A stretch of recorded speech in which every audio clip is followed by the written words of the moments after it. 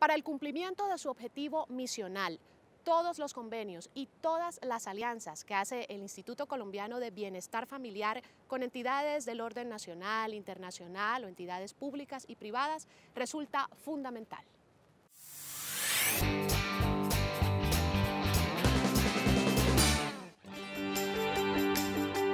La protección, cuidado, alimentación y los derechos de los niños en este país demandan de cifras millonarias y para poder cubrir todos los frentes y necesidades, aparte del presupuesto nacional, también requiere el apoyo de la empresa privada, de los artistas, deportistas y de gente de buen corazón que puede firmar convenios de ayuda y cooperación con el Instituto Colombiano de Bienestar Familiar. Estas alianzas que logramos a través de la cooperación nacional e internacional nos permiten atender también a niños, niñas y adolescentes y por supuesto a las comunidades y a la familia, apuntando siempre en su beneficio y por supuesto cumpliendo los objetivos que se ha trazado el Instituto Colombiano de Bienestar Familiar.